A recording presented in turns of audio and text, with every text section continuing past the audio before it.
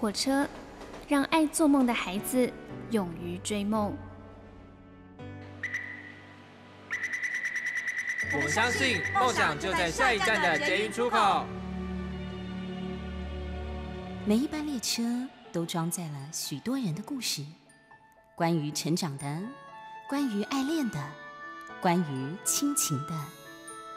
欢迎搭乘张曼娟的幸福号列车，列车长张曼娟和您一同分享幸福的时刻。在我的记忆中，好像以往的秋天是比较干燥、比较晴朗的，不像今年的秋天，好多好多的雨哦。阳光呢，只是偶然的露露脸而已。不过呢，在这个偶然的时刻，又会让你觉得哇，晴朗的时候真是格外的珍贵呀。你所搭乘的是第二个小时的幸福号列车，我是列车长张曼娟。我们听到的是张清芳所演唱的《偶然》。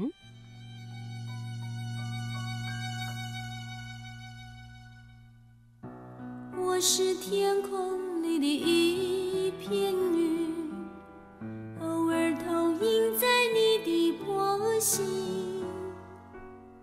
你不必压抑，无需欢喜，在转瞬间消灭了踪影。我是天空里的一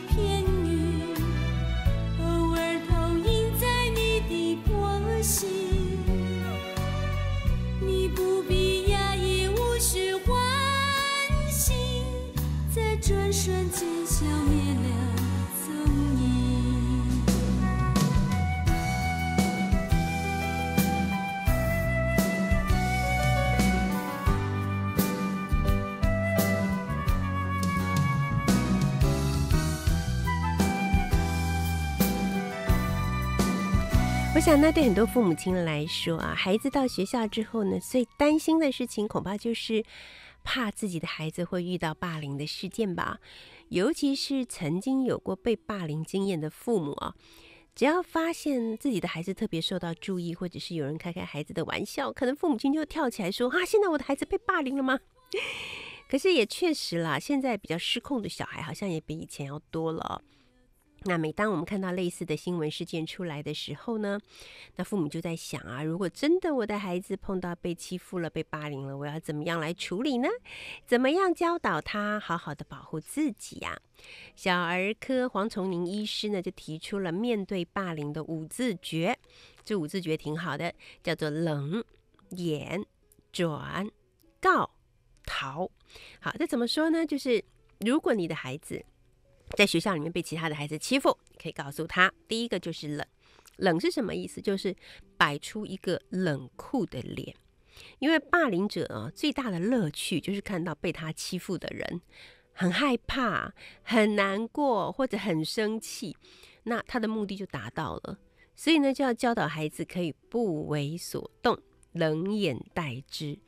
那面无表情，哈，或者甚至于很冷酷的脸，那霸凌者就会觉得，嗯，他到底在想什么？又搞不懂哎啊，算了，就不跟他玩了哈，就就不再继续这种霸凌的行为，会觉得很无趣嘛。其实我觉得这个挺好的耶，这可以面对很多事情。比方说，我昨天晚上在成品有一场那个读书会，哈，带的就是呃一群非常辛苦的照顾者，好，那个是照顾者总会所办的一场读书会。那里头就会有一些照顾者很辛苦的、就问说啊，不管自己在做什么，好像都会很容易受到邻居呀、亲朋好友的关切，说，诶，你妈妈最近怎么怎么不怎么怎么，你要怎么样怎么样怎么样，才会对她好一点，叭叭叭之类。那碰到这种事情就会觉得很痛苦，不知道如何是好。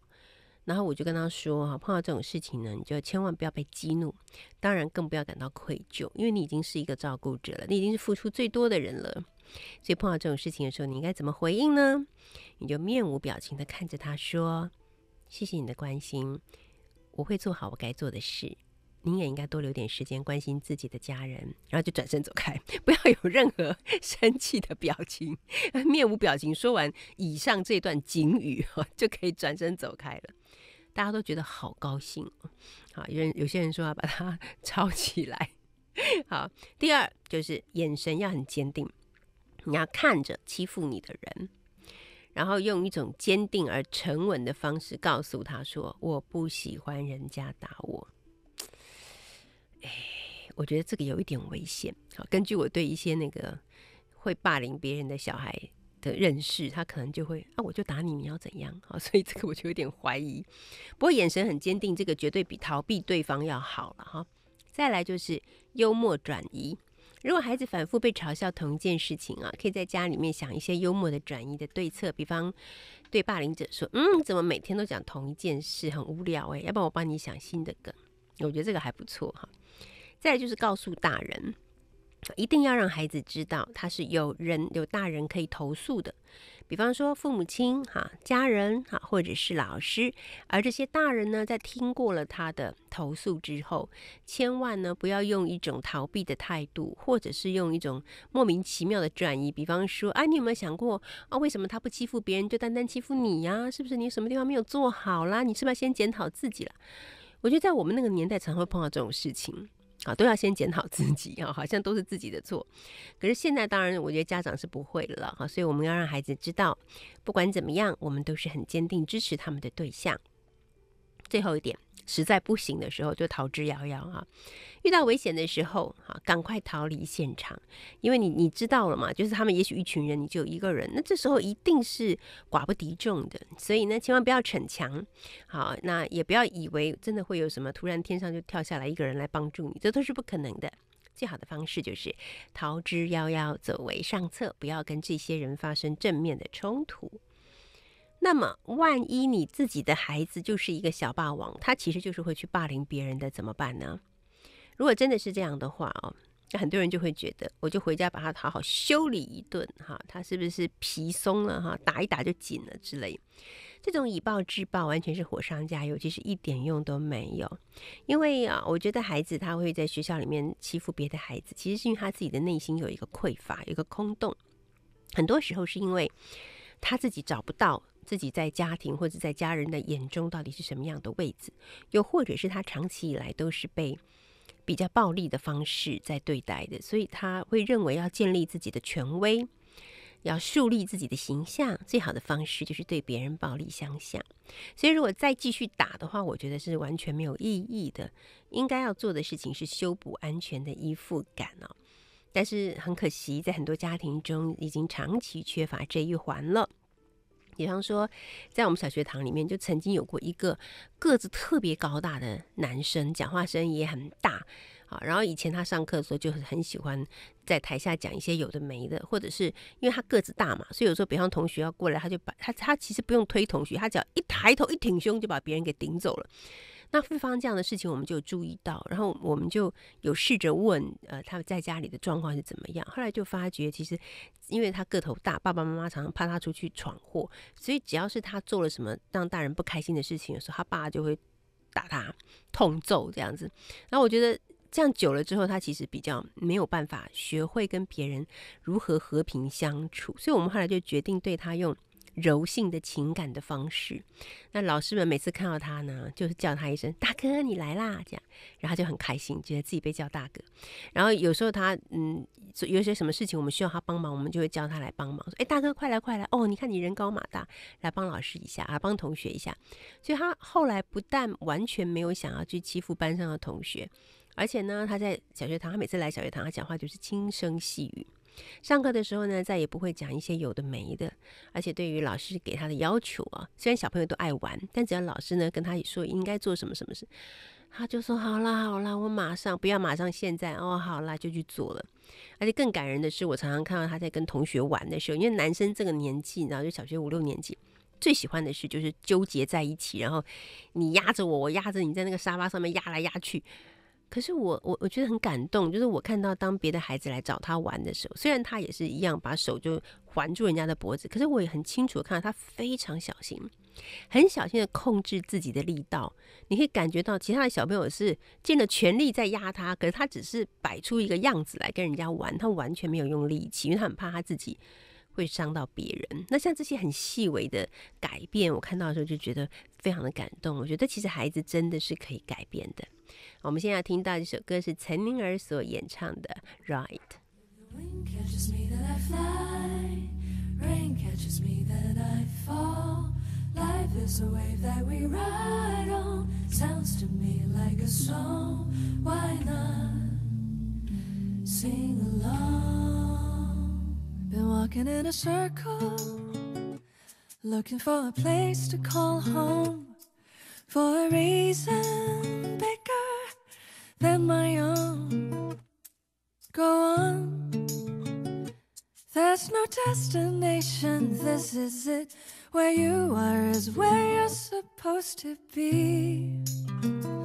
So all I could do is breathe, take a step and see. If the wind catches me, then I fly.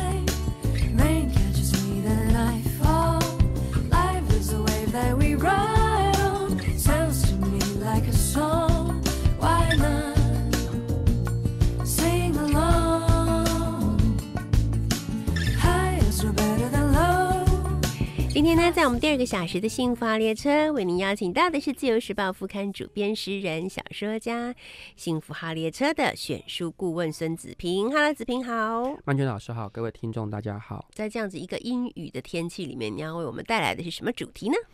呃，今天想要介绍的主题叫做房间。嗯，每个人都要应该有自己的房间，对不对？对，老师，你还记得你第一次拥有自己的房间是什么时候吗？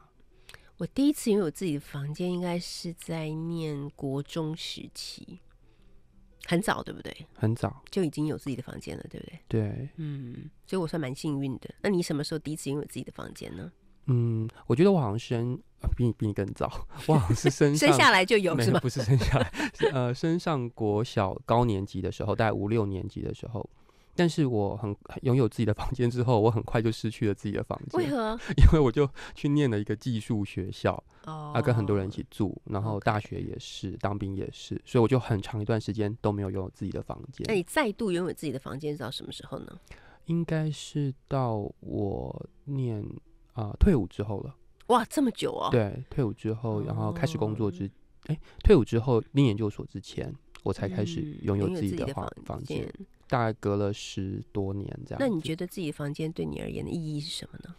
我觉得呃，这就是我们今天谈房间这个主题，我觉得很有趣的一个原因。嗯嗯、在呃我的想象里面，我觉得房间可能是一个家的最小单位。嗯那这个家它不一定是一个家庭，可能如果一个人他不是流浪汉，他不是餐风露宿，他有一个可以啊、呃遮蔽他的空间的话，那房间是最小单位。可是房间也可以嗯扩大，它可以变成是同时容纳一个家庭，一个家庭嗯都住在一个房间里，也也是可能。没错。但当一个人他拥有一个自己的房间，我觉得他其实也拥有了一个啊、呃类似于啊、成长的证明。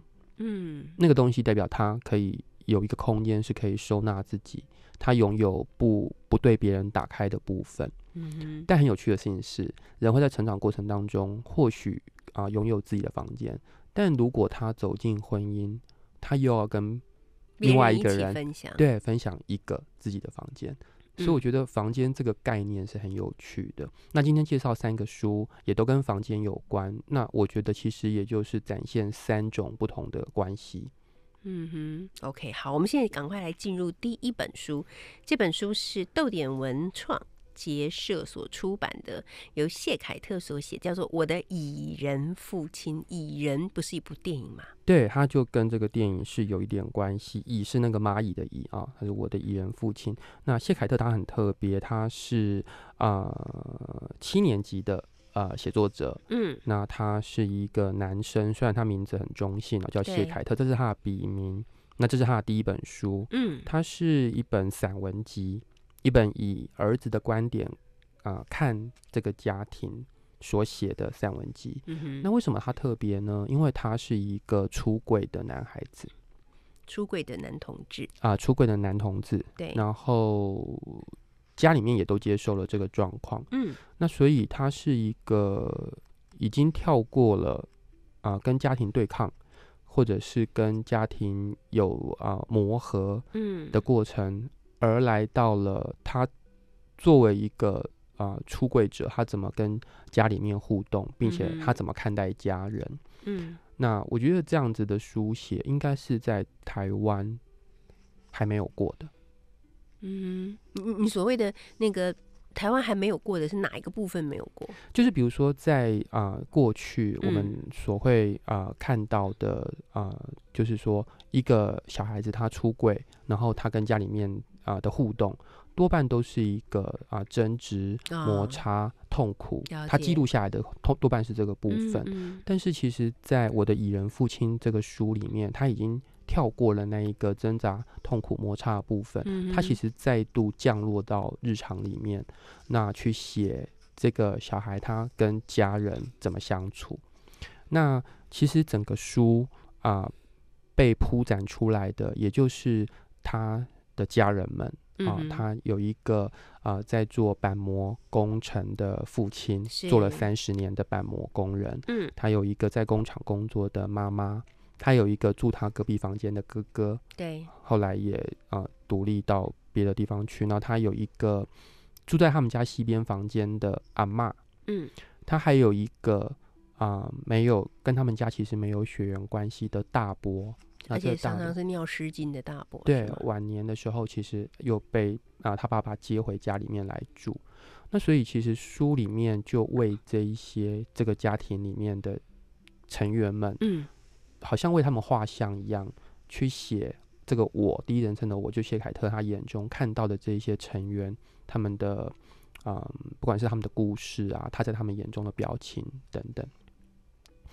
那我觉得就是说，呃，房间有时候会被打开，就像衣柜一样嗯啊，在一个家庭里面，其实就是那个人和人关系最紧密、最无法抗拒，不能够说，不能告诉你的妈妈说，你不要 走进我的房间，嗯哼，因为妈妈就会说啊，你是我生的，啊，对啊，对，为什么我不能走进你的房间 这样？嗯，没对错，，所以在那个被迫打开的过程当中，其实那个关系就会产生一些改变。就算你拥有自己的房间，嗯可我觉得这个书它有一个很有意思的思考。他说，嗯，就是我们会觉得小孩子向爸妈出柜是不容易的嘛。嗯哼，他说：“可是你有没有想过，其实啊、当你向爸妈出柜的时候，其实也是爸妈或你的家人走进柜子里面，他们成为了贵父母或贵贵贵家长。因为他们不知道如何对其他人说明，对吗？对，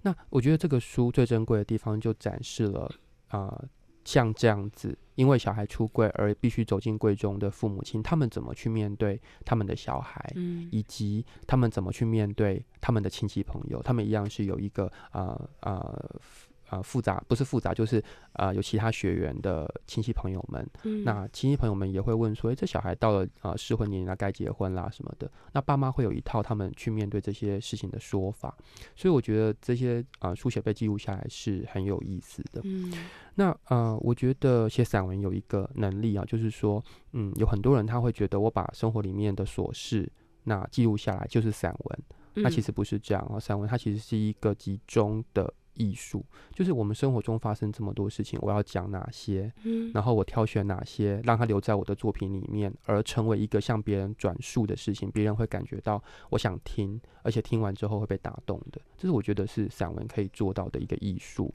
那我觉得谢凯特他是啊、呃很有这个说话的魅力的，他会嗯知道他怎么去说这些事情，让听的人会。啊、感到兴趣，并且能够理解。那啊、在这个书里面，刚刚有讲到，他其实讲到很多啊、这个自己的房间被打开之后，然后你跟家人的各各式各样的互动。那有好几篇我其实读的都很感动，就是会掉眼泪的那种感动。那呃，我最推荐的是其中三篇，嗯啊，一篇就是跟书名同名的《我的蚁人父亲》。对，那呃，我很喜欢这个他去写父亲的方式哦，他就说，呃，父亲是喜欢小东西的，父亲曾经是三十年的板模工人，父亲也曾好赌成性，但为了家庭收手。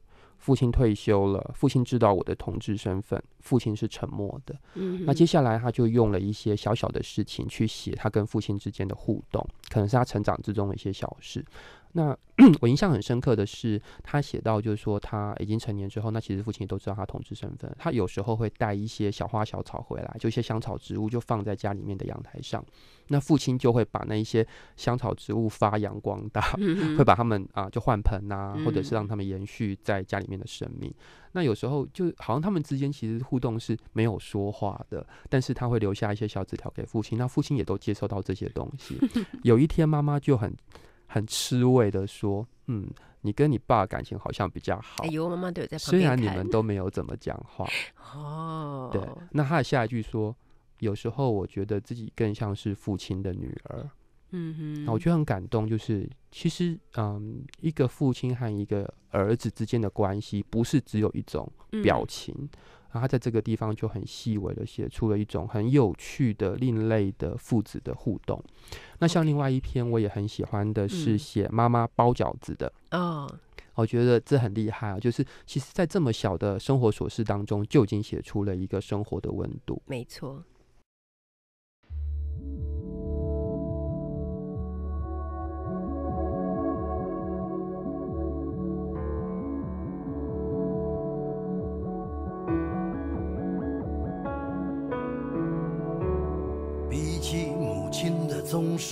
心忡忡。是啊，他更像是个若无其事的旁观者，刻意拘谨的旁观者。遗憾，我从未将他写进我的歌。然而，天晓得这意味些什么。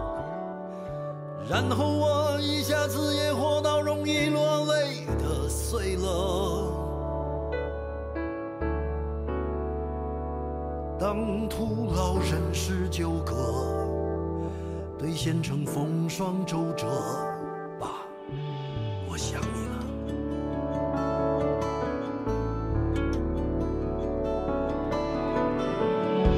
到临老，才想到要反省父子关系。说真的，其实在回答自己敷衍了半生的命题，沉甸甸的命题，它在这里将我拽回过去，像个终于灵验的咒语。那些年之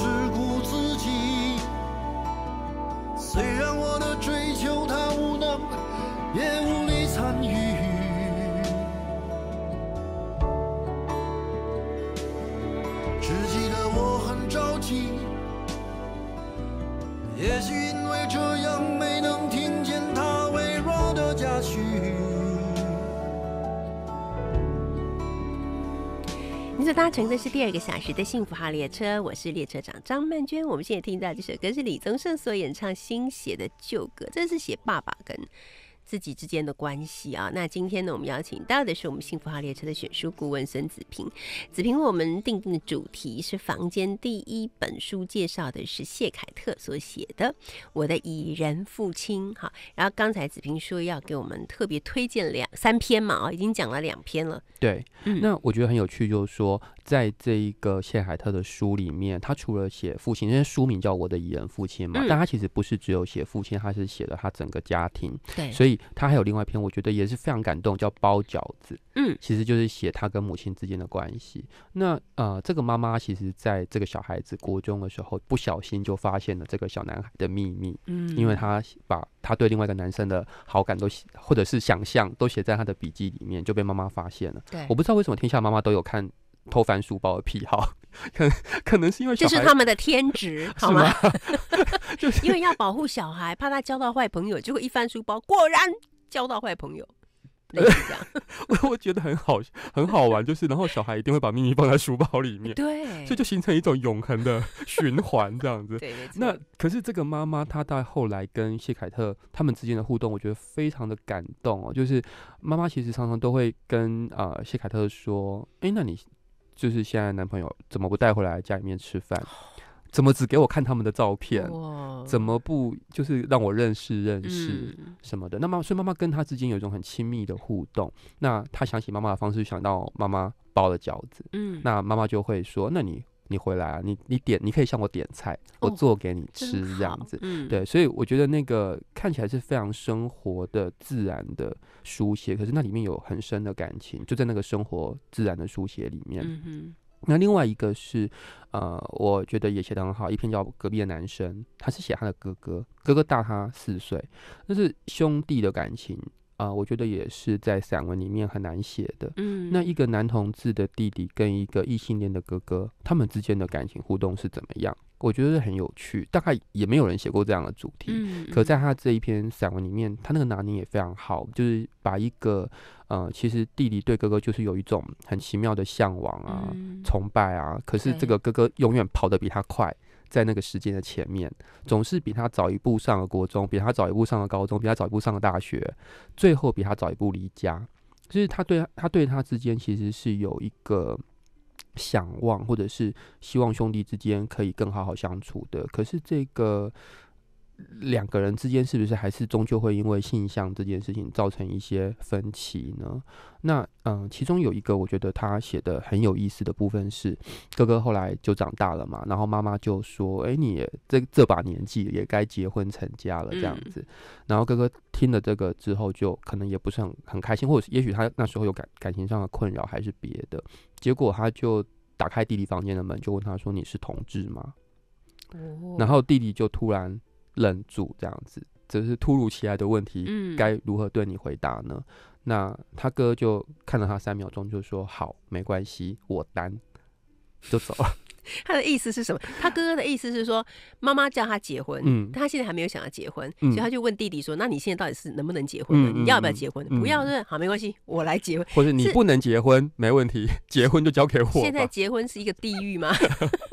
啊，就我觉得很有趣，就是说，其实也有嗯这样子的互动是存在着的还。蛮可爱的，我嗯觉得。所以就说，然后我觉得这这一切啊，刚刚我们讲到这些人物，在这个书的最后，嗯它有个非常呃细腻的呈现，是他们拍了家族合照。嗯哼，那其实，在他们家里面一直有一张二十几年前的合照，嗯可能在父母亲的一场争吵当中 被毁灭了，再也找哦不回那张家庭合照。嗯，可是因为写这个书，对，呃，这个家庭他们又重新聚合在一起，拍下了一嗯张曾经被消失了的合照。嗯，所以在这个书的最后，我觉得很感动，就是爸爸妈妈他们真的出席了对这个拍照，对，而且他也有写他们当天拍照的一些细节的状况，因为你读你会觉得很有趣。就爸爸妈妈都有那种很可爱的部分。嗯，那呃，他们编辑上很用心，他们就把老照片跟现在就放在一起，有一个时空的对比。嗯，所以，嗯，就看起来觉得很温暖这样子。嗯，然后爸爸年轻的时候真的很帅，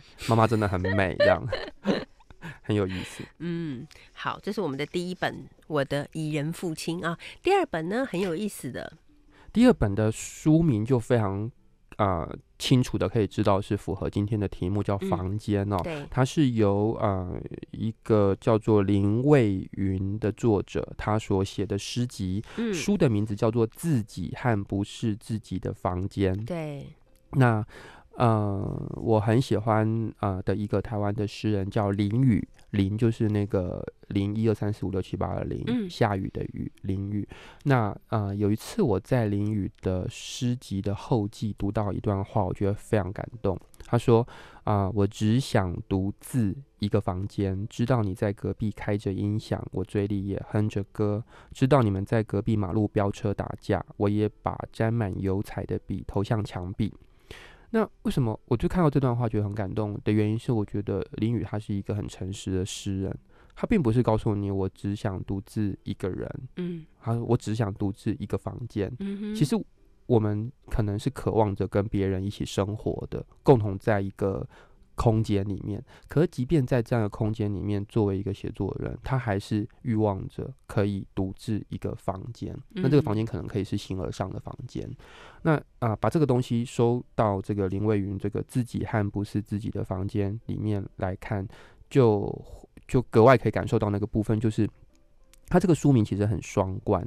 好，就我觉得还有三种念法，就是自己和不是自己的房间，嗯还有自就是呼应那个伍尔夫的自己的房间，它也可以是自己的房间和不是自己的房间，嗯那它可以是自己和不是自己的房间，嗯所以啊、呃这是一个很有趣的书名。那为什么他要引伍尔夫的自己的房间来作为他的书名的一个唱和呢？因为嗯伍尔夫说，女人要写作一定要有钱和自己的房间。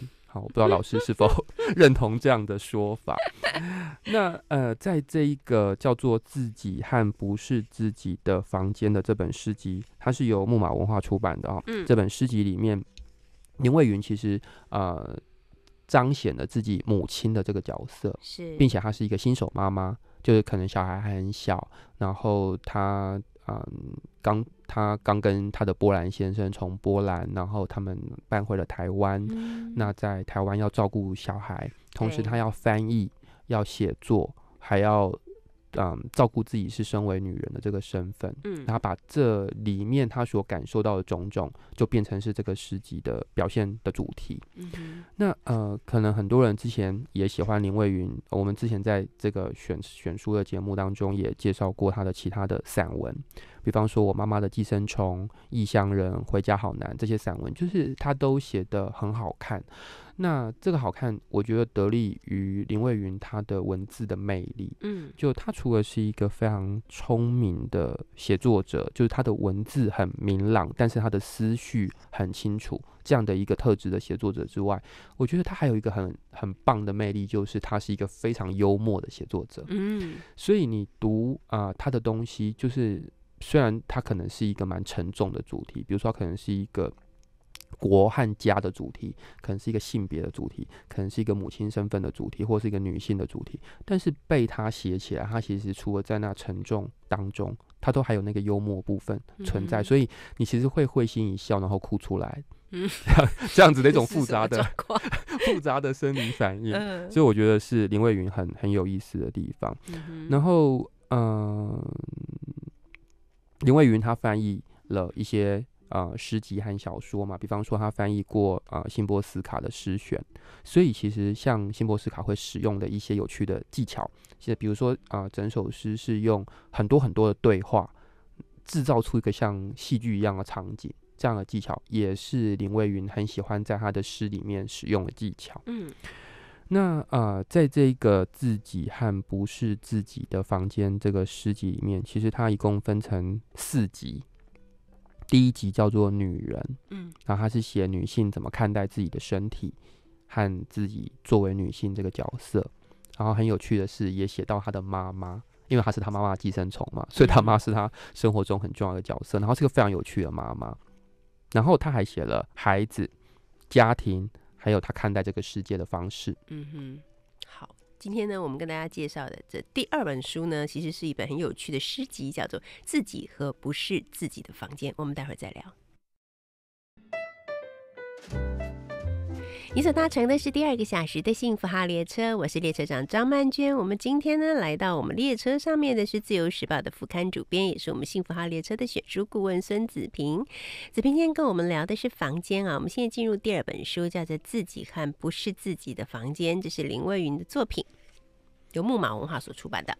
对，那这个书它其实就是分成四个部分，一个部分是写女人自己，嗯。比方说她有一首诗，全部都是写女人经历的各种各样的疼痛，对，然后 诗的名字叫《女人的肖像》，嗯，哦，所以身为女人可能是很痛的一个事情。对，那还有就是它第二个主题叫家庭，就写出一个异性恋家庭的柴米油盐等等。嗯嗯，那还有一个主题是孩子，那孩子这主题很有趣。其实，在台湾有一些女诗人，她们也都从孩子这个主题身上找到一些新的思索和新的视角。比方说林婉瑜、何庭慧，她们嗯呃都成为了母亲，那她们在从呃自己的小孩身上也都找到了一个重新看待世界的方式。嗯，这就很像那个林蔚云的诗里面写说，儿子出生后，我发现我是真的。嗯嗯，很有意思。然后最后一个部分，我觉得很有趣的是，林蔚云她特别放了一集，是她去看待这个世界的意见。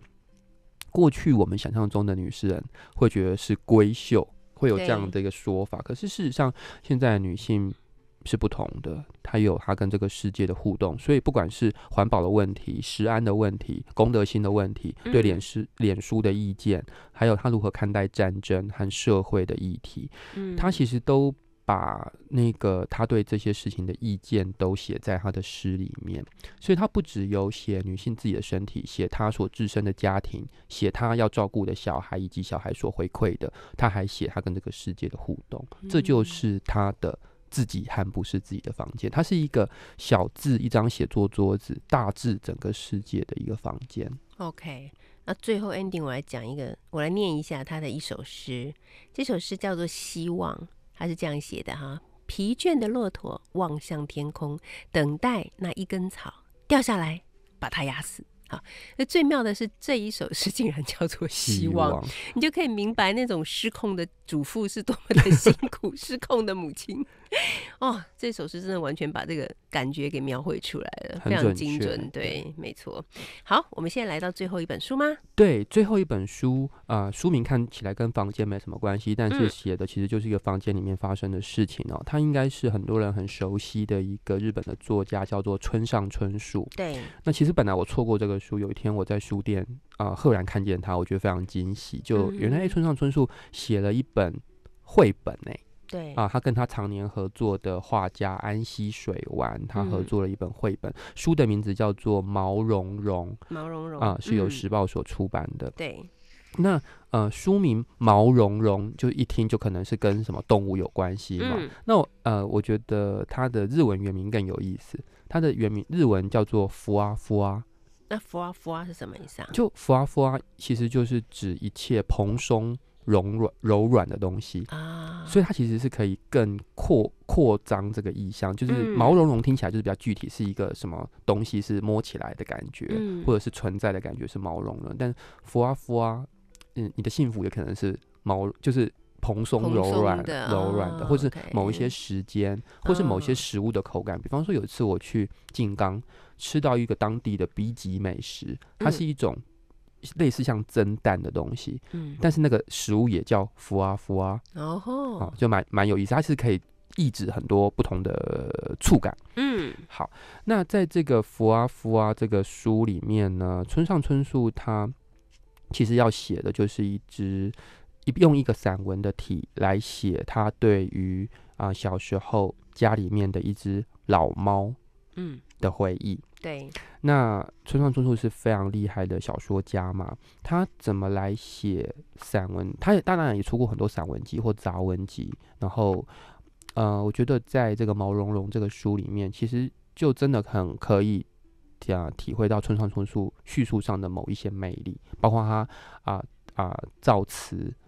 对于形容方面，他特殊的魅力，包括他对于整个文章安排结构的魅力，好，嗯就是一开始我们读这个书的时候，其实我们根本不会知道叙述人称的我，他是活在怎样的时空？他是嗯一个人，他在讲现在的事情吗？还是他是一个人在说什么？就是我们我们其实都不知道。我们先知道的是有一个我，他跟一个猫在一个房间里面，那个嗯猫的毛被太阳给照过，然后变得非常的柔软温暖，他就去写那样的一个触感。然后他写猫的肚子呼噜呼噜的，很像是那个地球刚刚成型的样子。我都不知道，可以这样形容猫的肚子哎。真的，你下次感受一下。哦，真的，那嗯就是呃，我觉得那样的画面就很美哦，就是在一个房间里面，这是一嗯个生命体跟另外一个生命体之间的互动。那他写出了一个很有趣的那个呃，不管是啊、空间里面的温度啊、气味啊、光线，他先写出了这样的东西，然后他才去透露出写作那个叙述者的年龄，嗯，那个我其实是一个小小孩的我。所以以那个小小孩的我，他跟那一只猫，他们的体型相仿，语言相近哦，他们可能就是两个等等量或等值的生命体，然后他就在那样子的呃语言相近跟形状体体型相近当中，他就发现了一种东西，叫做猫咪的时间。嗯，我觉得这形容好美哦，对，就它是啊、呃因为这个猫而存在的某一种时间，它就形容这个呃，因为猫而存在的某一种时间，就好像是那个火车时刻表上面不存在的幽灵列车。嗯，那到底幽灵列车要带我们去哪里？当然一定就是把我们从现实带往一个想象的空间去嘛。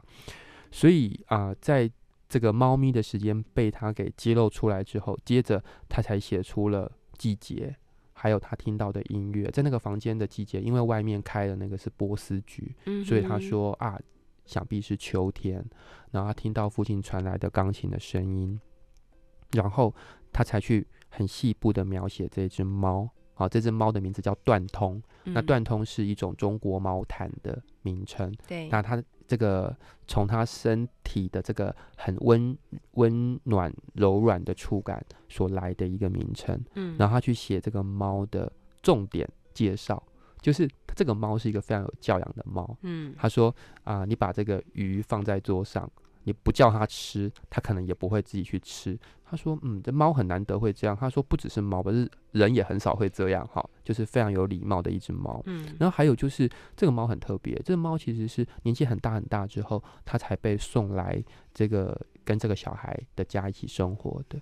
结果这个猫可能不知道自己被送来别人家里面当别人的猫了，它又像狗一样的 跑回了原本的主人家里面。而且是需要走一个小时以上哦。对啊，我觉得超厉害的哎，对怎么会这样？哎，它是被装在箱子里面，用脚踏车运来的。可它怎么知道要怎么回去嘞？那么多猫都不见了，都走失了。真的，所以可见的猫走失是故意的，是吗？就他们其实是可以知道的。对，所以这个猫真的非常的聪明，嗯那他就去写出这样子。那我也很喜欢这个书，它就是这个安溪水湾的图，它其实每一张图都画出了一个猫的局部，然后还有桌上嗯散落着一些儿童的玩具，对，那整个读起来是非常舒服的一个绘本。嗯，我唯一可以跟子平分享的，就是在我仔细研读之后，用侦探一般的缜密的思绪，最后可以告诉你，他喜欢的这一只年纪比较大的母猫，其实是一只三花猫。除此之外，我没有别的可以分享了。今天非常谢谢子平。谢谢老师来跟。我们一块聊聊关于房间这个主题哦。我们现在听到的是小尘埃所演唱的《猫大人喜怒》，下礼拜见，拜拜。